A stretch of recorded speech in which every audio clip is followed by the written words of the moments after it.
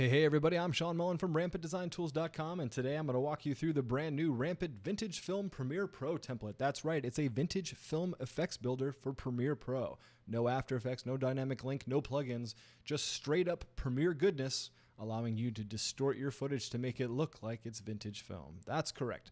Why did we do this? Why would anyone do this? Well, you know what? We got this call from a good friend of ours, Rose Fredrickson. If you don't know who she is, she's been a longtime friend and fan of Rampant, and she reached out to us and she actually challenged us to make this thing happen. She said she didn't have any native tools available to her that would allow her to get that very specific vintage film or VHS look that she's always been looking for. And she sent us a bunch of examples, and it was awesome. It's so great to hear from people. If you have a suggestion for something, by all means, hit us up, and if we do it, you'll get a free copy. So, okay, so if you're not following Rose on on uh, YouTube or Instagram or Facebook or Twitter, make sure you do. She's awesome. Okay, let's go ahead and jump into the Finder. If you're on the Mac, obviously. If you're on the, the PC, this would be Windows Explorer. Okay, if you find your uh, Premiere Pro project, the vintage film project, and you unzip it, you're going to get something that looks like this. You're going to get the actual Premiere Pro project, and then you're going to get some presets. We'll talk about that as well. And you're going to have a bunch of assets quite a bunch. Look at all this. And it's all from our various uh, libraries like our Motion Graphics for Editor, our Studio Film, Real Clutter. Uh, we've got a bunch of light leaks. I mean, we've got so much that's included absolutely free uh, with this template. Okay, so. Uh, and then, of course, this is our one template that has not only a Premiere Pro project, but a Premiere Pro preset. And again, we'll walk you through on how to install that in this Premiere Pro preset installation PDF file. It walks you through very specifically how to install presets. And then, of course, this PDF file, the template installation, shows you how to unzip it, what it's compatible with, uh, what kind of uh, fonts we use, if any. In this particular case, we don't use any fonts. And then, of course, right here, how to open up a Zendesk request. Click that, send us a, an email, or call us. And we're happy to hear from you. Any which way you, you want to communicate with us, hit us up, and we'll help you out. Okay, so before I jump into Premiere, go ahead and highlight the Premiere Pro project file, and just like all of our template files, right click and hit duplicate um, or on PC, hit copy and paste or hit duplicate there as well. Make sure that you always, always, always make a copy of your template. One reason, for the most part, is because when you once you make changes and you hit save, you can never go back. So always make sure that you duplicate your project. All right, so let's jump into Premiere Pro. Okay, so when you open up the file, this is what it looks like. You've got your vintage film effect builder, just like the VHS one. If you know how to use our VHS template, you'll know exactly how to use our film template, and vice versa. Obviously, the first thing that we're going to need is some video, because you don't want to do this whole effect on a file that says video one. That's kind of crazy. So let's go ahead and import. And let's highlight right here in the project window where it says your video and twirl that down and double click on your video one, right? And just go ahead and put our Shutterstock files right over that. Cool. And you can turn this layer off as well. All right. Back to our effects film effect builder here. As you can see, the second I drop it in, it automatically updates.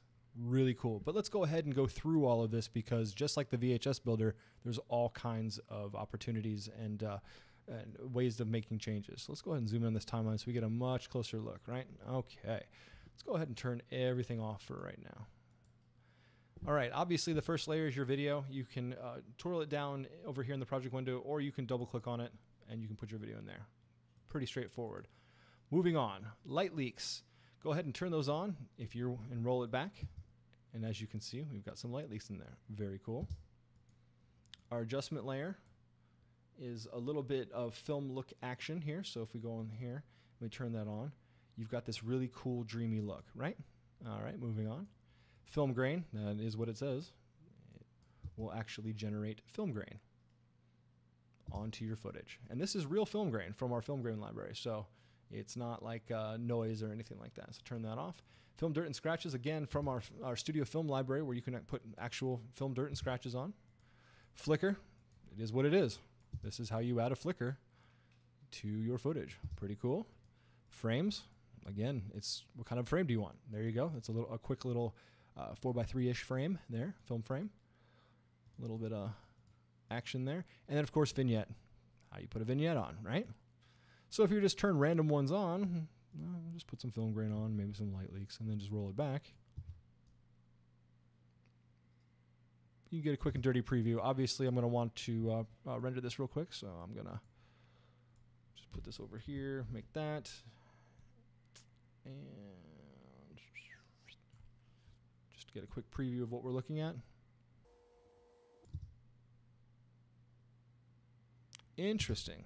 So we're starting to get the looks of a vintage film effect. So what you know, what else is there? Is that it? Do I just turn layers on and off? Well, no, not really. This is just like the VHS builder. So with every single one of these nested comps comes a lot of options. So let's go all the way back down to light leaks and double click on it. This is where the fun really happens. Check this out. You get a lot of rampant goodness up in here. Check that out. You get what? 16, it looks like. 16 layers of vintage leak goodness. And we're only on turning on layer one here. Let's switch it to layer two. Oh, what is happening? This is awesome. So you just get to pick the vintage leak you want.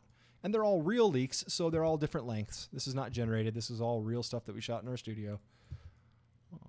Check that out. So you just basically pick the the light leak that you're looking for. You just audition them until you find something that you like. Then you go back to your effects builder and it automatically trickles down.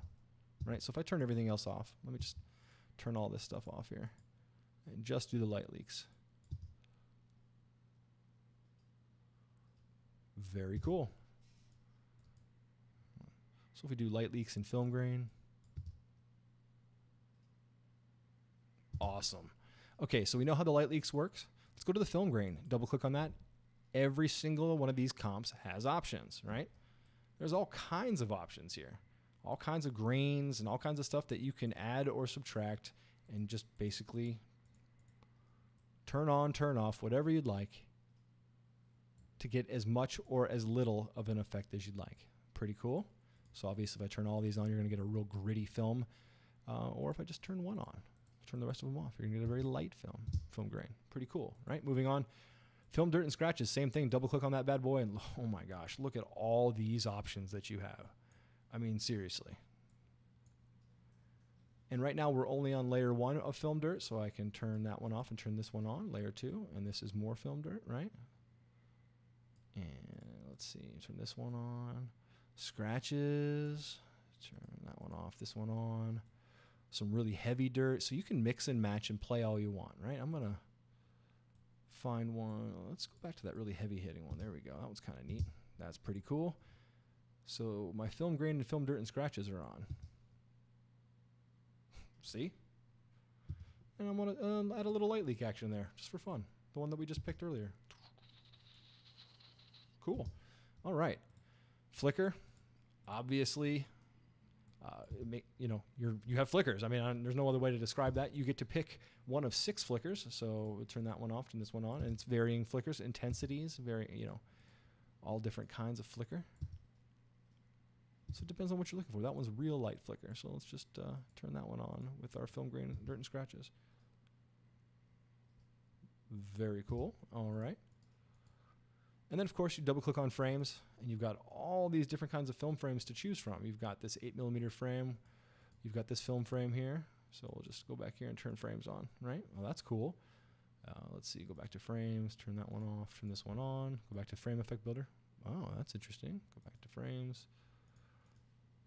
And again, you just mix and match until you find the exact look you're looking for. And it'll be different every time, you know? If you want some kind of a, an oval frame or a circular frame, that's great. I'm to go back to our 8 millimeter frame here. Nice. Okay, and then of course, the very last thing that you would add would be a vignette. And you've got all kinds, again, all kinds of vignettes to choose from, right? Right. So we're currently using vignette number one. We'll swap it out, vignette number two, vignette number three, vignette number four, vignette number five, six, seven, and 8. So whatever one we want to use, I think that one's pretty cool. Let's go ahead and use that one. Switch it over and turn it on, and boom, you've got an instant vignette.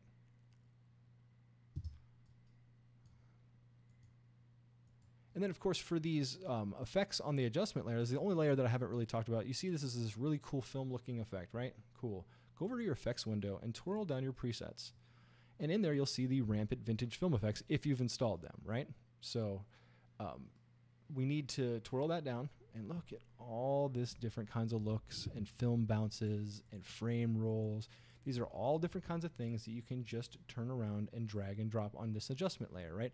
I had already given you effects in this adjustment layer, but let's go ahead and just turn everything off. Just get rid of everything in this adjustment layer. So now we're back to where we were. Let's just go ahead and drag a look. Vintage film look 5. Boom. Roll it back. And there you go. And then you mix and match it with the light leaks and the film grain and the film dirt and scratches. Maybe you turn the light leaks off, you know? You just mix and match until you get exactly what you're looking for. And I built this project on the slowest Mac I could find. My Mac is ancient. Um, it will probably run a lot faster on your machine. But if you're ever getting into a situation where it's like really bogging down, and you but you still want to, uh, you know, mix and match and play, just turn full here down to a quarter or half, or just start turning layers on and off. And then once that layer uh, is tweaked to the way you like it, turn it back on, and then turn something else off, and you know just keep working until you get exactly what you're looking for. But that's basically it. With all these different options, you can create your own vintage film effect. So again, there's no real right workflow. All you're going to do is just click on everything and either turn it on or turn it off, and then double click on something and then turn those on and turn off. Just mix and match and have fun. Just experiment until you get the exact look that you're looking for. All right. Uh, for this template or any other Premiere Pro template, go ahead premieretemplates.net. That's premieretemplates.net. And that's it. Thank you so much for watching. Until next time, I'm Sean Mullen from Rampant Design Tools. Catch you later.